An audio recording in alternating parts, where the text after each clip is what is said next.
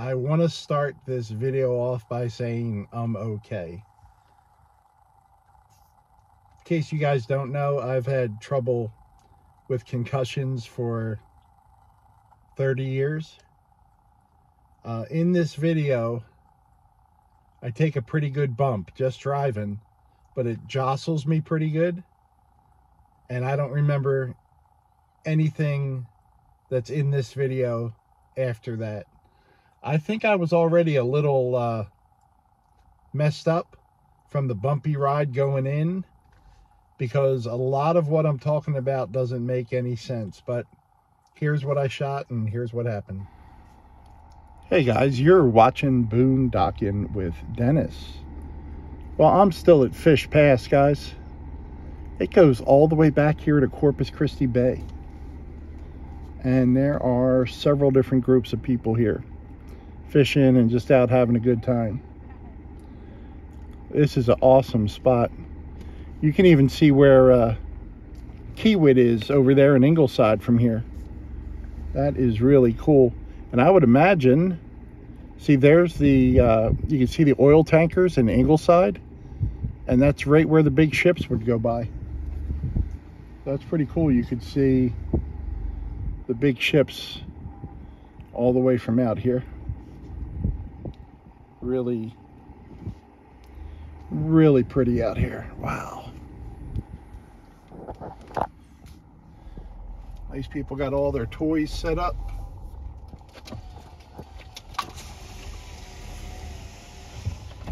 Kind of stick it out this side for you. They got floats, they got kayaks, they got shade, food, people, fishing great big floppy hat. They got everything. Uh, this is uh, this is really nice back here. It's worth the bumpy ride. I mean, you can see the highway right there. Uh, just the conditions of the driving here. It's uh, I like it. it. Scares some people away. Give you a little privacy.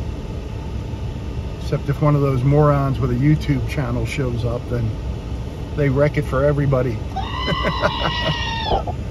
yeah, so don't come out here, guys. It's horrible. I, I can't recommend it.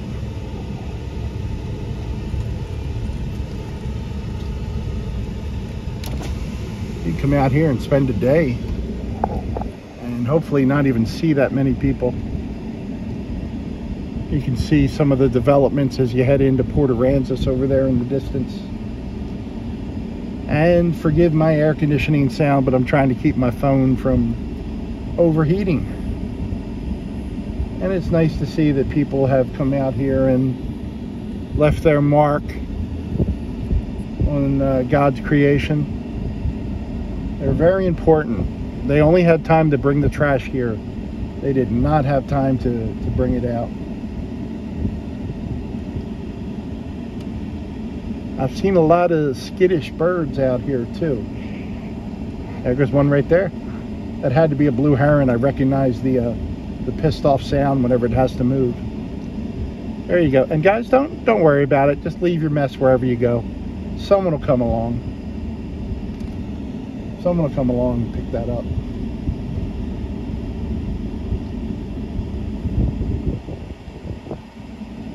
I really like the uh, so, hey Kevin, very drivable. Not a not a big deal at all.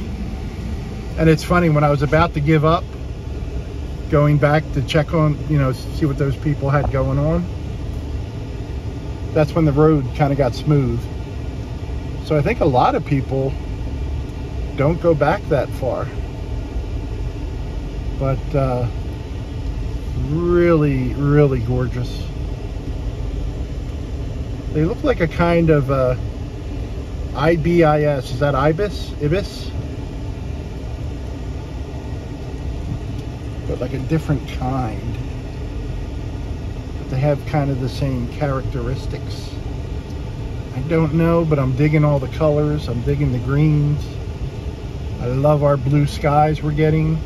Our skies aren't uh, Saharan dust yellow anymore, which is gorgeous. We got some butterflies happening out here. Where'd they go? They decide to hide. Even butterflies don't want to be on my YouTube channel. They're like, we're, we're holding out for a better, better channel, buddy. We're, uh, we're holding out to, for, for That Girl Travels. That's my friend, uh, Alexis's channel. And there's a link in the description of this video. Matter of fact, there's a link to about 20, 25 channels that I watch. And, uh, you wouldn't like Alexis's channel. Beautiful young lady running around in uh, shorts and bathing suits. So no one, no one wants to see that mess.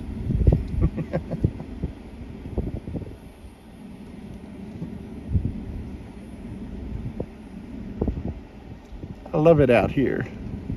Wonder, I wonder how many coyotes are within 100 yards of me right now. You rarely see them. At night, if if you're on the beach in like Port Aransas and you want to you want to see coyotes, cook some bacon. Cook some bacon on the beach. They will be up at the edge of the dunes wondering what is going on. I think this is the little side road I came in, right? Yeah, okay.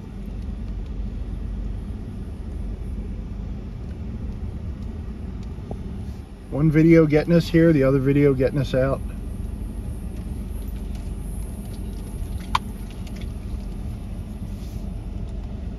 And we haven't, so there's only two groups of people back in there. It's a little bit more of a drive than Packery Channel, but of course, I mean, I don't, I don't know. It is called Fish Pass, but I imagine there's fish here. That's how it got its name, right? I'm having a very good time finding these new places that I've never been to before. I've been going to Fish Pass since 1928, and it was much better back then. Yep, I know. I'm sure somewhere there's some Karankawa Indians going, well, we've been coming here since the beginning of time.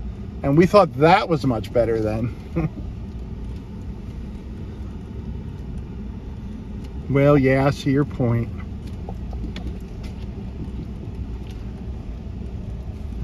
I don't know, was my life better with a cell phone or without a cell phone?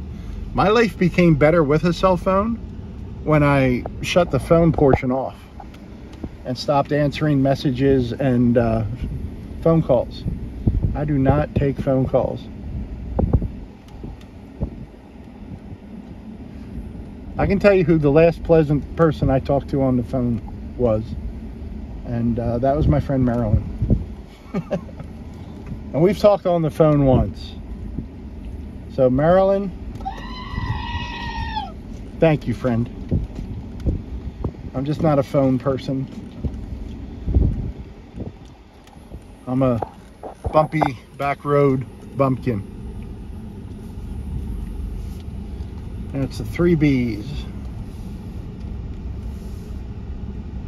Now, how did we get, now does this road go to the left up here? Yep, okay. I'm just thinking like, how did we get in and out of here? This looks okay right through here. This reminds me of a little bit of that road uh, in Lamar that my friend Mike told me about. If you're in Rockport, you go over the bridge like you're going into Lamar. As soon as you go over the causeway, you make a left, go down that road, and on the right, there's a gravel road. And that'll take you back through an area like this. Except you get so far back there, it then tells you it's private property.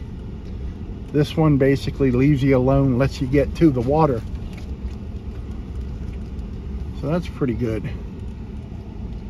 That's pretty good. I'm happy about that. Oh man.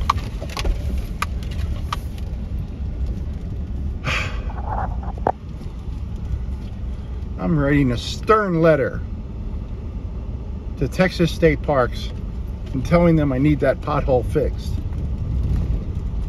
You know that big hole everyone can see but me? well, I hit it. It do any damage to your truck, sir? Mm, no. Okay, you have a good day. Thanks for shopping Texas State Parks.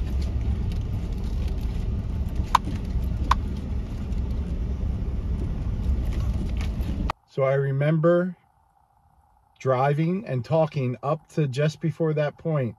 It took that big bump. And the next thing I knew, I was standing outside of the truck and I had sand on uh, my knees and legs. So I, I went down at some point and I was kind of, uh, excuse me, dry heaving. And I know from past experience that's happened whenever I've gotten a concussion. So you might have heard me say I, I'm not riding in a boat that I can't drive because just that bumping, bumping, bumping uh, kind of scrambles my brains worse than usual. But um, yeah, I I didn't handle it right. I hit a big bump and I uh, I paid for it where I had oh a headache for about three days and uh, some blurred vision spots. But I shot this six, seven days ago, and I haven't had any bad issues in the last three or four days.